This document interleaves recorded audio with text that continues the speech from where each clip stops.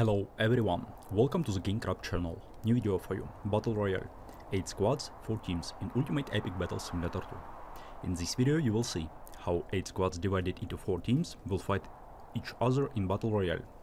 Team 1 20,000 Dementors and 500,000 Isengard Orcs.